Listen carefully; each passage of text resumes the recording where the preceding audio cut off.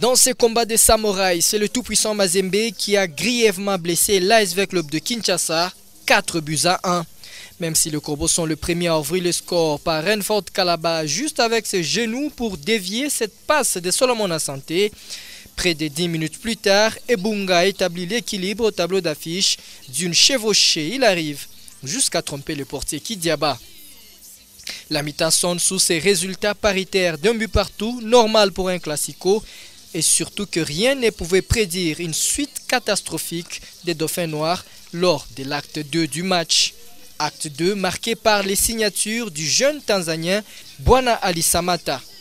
Et tout commence à la 51e avec le coup franc de Kasusula qu'il dévie de la tête.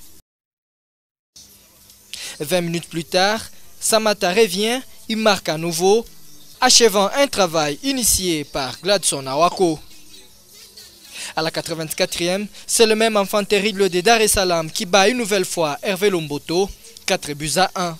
L'ASV Club saigne, mais Samata est toujours impitoyable. Dans les arrêts de jeu, il donne un coup de grâce aux hommes de Florent Ibengue.